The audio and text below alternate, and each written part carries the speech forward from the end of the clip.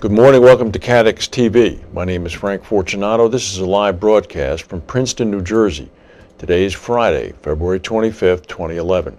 It's 11:30 a.m. Eastern Standard Time in the United States, 4:30 p.m. in London, in Bermuda 12:30 and in Mexico City 10:30. If you need to reach us during the broadcast, you can phone in toll-free at 1-866-67-CATEX. Uh, big developments in Libya. We'll get to that as our uh, first story after the break. Uh, let's go to the main news. AIG came out with some numbers today for the uh, all of uh, the fourth quarter of 2010, and they are real stunners. Um, they're reporting a profit of 11.2 billion dollars for Q4 2010. However, most of the gains came from selling and spinning off two of its life insurance units. Last month, AIG made big progress on uh, its plan to get the government to sell its 92% stake in the company. The government's invested $182 billion in it. AIG's earned $16.60 per share in the fourth quarter uh, compares to a loss of $65.51 a share for the same period last year. So this quarter, fourth quarter, they made 11.2 billion Last fourth quarter, they, made, they lost 8.87 billion. Of course, most of that is a result of the spinoff from uh, of the Asian units. Chartis, the subsidiary of AIG, that's the non-life insurance division, uh, recorded a uh, $4 billion operating loss after tax in the fourth quarter. This is following its previously announced $4.2 billion reserve hike, apparently mainly due to asbestos. Excluding the reserve strengthening, AIG said that Chartis' operating result would have been broadly in line with the 1.8 billion pound loss that it made in the fourth quarter of 09. Chartis' pre-tax loss more than doubled to 3.3 billion dollars in the fourth quarter of 2010 from losing 1.6 billion in the same period last year. The combined ratio of the insurer combined with the reserve now jumps up to 161%. There's no good news there at all, apparently. Um, New Zealand update now. The government-backed cat insurer. Look at this before we get into that. These are the aftershocks that have been hitting there in Christchurch. If you look at that little box, um, we broke this out before the show. There's apparently six uh, earthquakes there, the main quake and then five aftershocks. Some of the aftershocks were actually uh, not so small. They're like 5.6, 5.4. Uh, and experts are warning that they can expect aftershocks in that area for several weeks to come. Uh, the government-backed uh, uh earthquake catastrophe insurer is expecting at least 110,000 claims from the earthquake this week. It's gone so far as to ask property owners uh, who do not have emergencies to not submit their claims and wait, wait until the emergencies are dealt with. The New Zealand Earthquake Commission chief Ian Simpson said that the insurer had suspended its claims assessment operations to focus on the emergency response. Uh, here's a, a, photo of a woman walking her dog past a, uh, a, wrecked building. Life is still going on there, although the death toll now is uh, possibly over 110. Um, they still have a number of people missing. One of the people still missing is a Marsh McLennan staff person um, one employee of Marsh is believed dead and fears are growing for other, uh, two other staff members who are still missing. They were working in the broker's Christchurch office, which was an office building that, that was flattened. All three staff have been missing since the 6.3 quake. Uh, the Pacific Regional head of Marsh, John Clayton, said, I can confirm that we have particular concerns about three of our colleagues, one of whom we believe has died, although we are waiting for official confirmation. The other two colleagues remain unaccounted for. Clayton said that the staff is in shock, uh, no doubt. Well, Rahm Ayer has popped back up. He's a good man. We're happy for him. Former Hartford Financial Services Group CEO Rahm Ayer has joined XL Group in Bermuda as a member of the board. XL's chairman Robert Glauber said Mr. Ayer's vast knowledge and industry experience complement the existing expertise of the board and will benefit the company. Ayer retired from Hartford in October of 09. He'd been the CEO for 12 years. He's also a former chairman of the American Insurance Association. Uh, Brit Insurance, as you may know, is domiciled in the Netherlands. Um, that little uh, intentional move has helped it post a uh, post-tax profit of 110 million pounds for 2010. This is up from 87 million pounds in 2009. And this is despite a decrease in their gross written premiums from 1.7 billion to about 1.5 billion. Here's why. The bottom line was helped by uh, the redomiciliation in the Netherlands, which has an effective tax rate uh, of 5% for Britain 2010. Guess how much their tax rate in England was in 2009? 24.8%. So that's almost a 20% drop. The combined ratio rose to 97% from 94%. Um, Brit, of course, is in the process of being acquired by Achilles.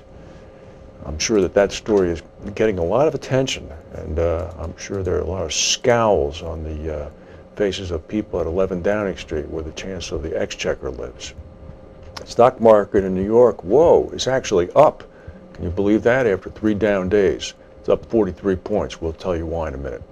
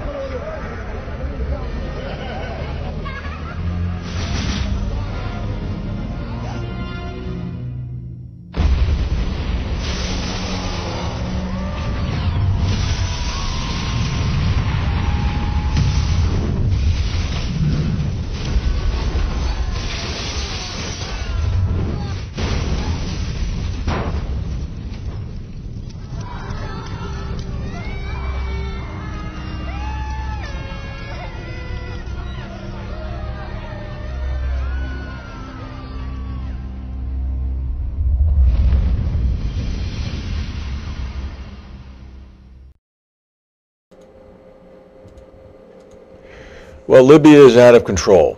Um, forces uh, loyal to Gaddafi, uh, a very small group of forces, apparently reinforced by mercenaries from Chad, French speaking Africans from Chad who have been employed by uh, the erstwhile colonel, have combined with a specialized private protection regiment and are firing uh, on the crowds in Tripoli as we speak.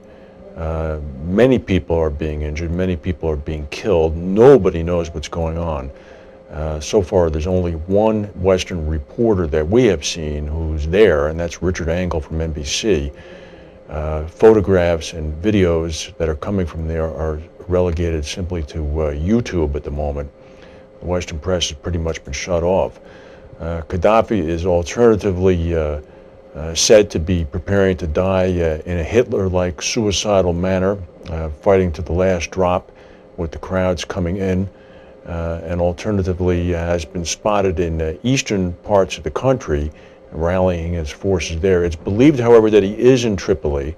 It's believed that he is ensconced in an army barracks, and it's believed that uh, even as we speak now, it's coming up to about 7 p.m. there, the tens of thousands, if not hundreds of thousands of protesters are creeping ever closer to where Gaddafi is. Um, if they get him, and if he hasn't killed himself, they will kill him. The Saudis have announced again today that they are immediately beginning to make up the shortfall in production caused in the world oil markets uh, by the uh, decrease of the Libyan export amount of oil. The only difficulty, of course, is that the Libyan oil is uh, so-called sweet oil, very light in sulfur content and uh, very easily adaptable for use in diesel engines. Uh, the Saudi oil is more sulfurous in content and requires more refining. However, the stock market seems to have stabilized somewhat. Uh, the price of oil has actually begun to go down as it seems as if the crisis in Libya will resolve itself one way or the other. Protests all around the Middle East are occurring today. Uh, in Yemen, in the Sudan, and in Iraq, where apparently several dozen protesters were killed in a day of rage. Also in Egypt, hundreds of thousands of Egyptians gathered in Tahrir Square again, signaling solidarity with their Arab brothers across the region. Thus far, uh, nothing has been reported in Saudi Arabia. We think we've seen the price of oil go up as a result of what happened in Libya, wait until there is a demonstration in Saudi Arabia. Uh, you won't be able to see the price of oil. Allianz from Germany says that its fourth quarter earnings climbed 11% on a little bit of an increase in revenue and a more profitable performance by its core business. They reported net earnings of 1.14 billion euros for the last quarter of last year. It's up from a shade over 1 billion euros the year before. Revenues climbed 2% to 26 billion euros from about 25.5 billion euros. Munich-based giant said that its combined ratio at its P&C division was down to 94.9% from 95.3%. It's a pretty good total for Allianz. Big news in the U.S. This is, this is going to have people scratching their heads, but this is what globalization does, I suppose. The United States Air Force uh, has decided to award a $35 billion contract to the Boeing Corporation. Uh, the contract is to build nearly 200 airborne refueling tankers. It's one of the biggest defense contracts ever. It's going to add tens of thousands of jobs to the American economy. Who was the biggest competitor? Indeed, who was the only other competitor? Uh, the European Aeronautic Defense and Space Company, EADS. Uh, you may know them as Airbus a European-owned consortium composed of eight different countries had competed vigorously, and some say even more effectively than did Boeing, to get this contract.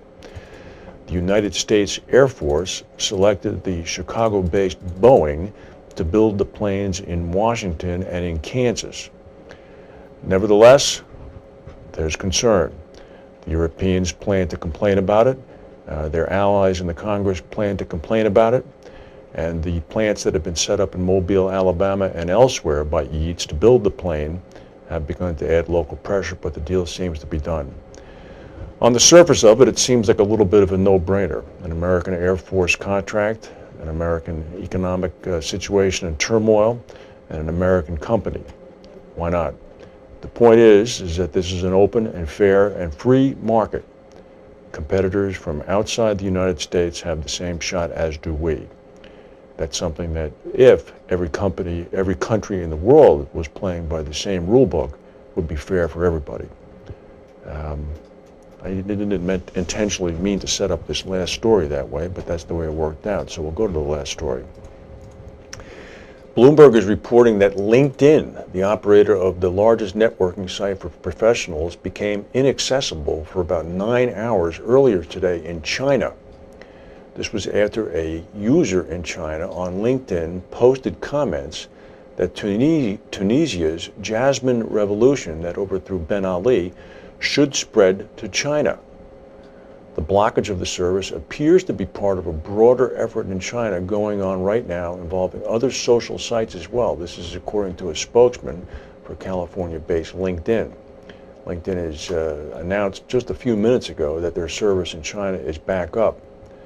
Since 2009, China has shut out sites such as those operated by Facebook and Twitter that don't comply with Chinese rules to self-censor information on politically sensitive subjects. A LinkedIn user identified only as Jasmine Z last week set up a discussion group to post opinions on whether the revolutions that brought down the leaders of Tunisia and Egypt should be brought to China. My goodness. A professor at Berkeley, Doug Tiger, said often this is done as a sort of warning signal by the government, sort of a shot across the bow.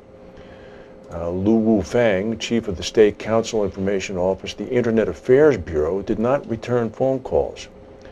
On February 23rd, this person, Jasmine Z, set up the Jasmine Voice Discussion Group to post opinions on the pro-democracy protests currently spreading through the Middle East. The uh, discussion group is not there. We checked before we came on the air. If we have any breaking news, we'll come back and tell you. In the meantime, have a pleasant weekend, and we'll see you on Monday. Thank you for watching.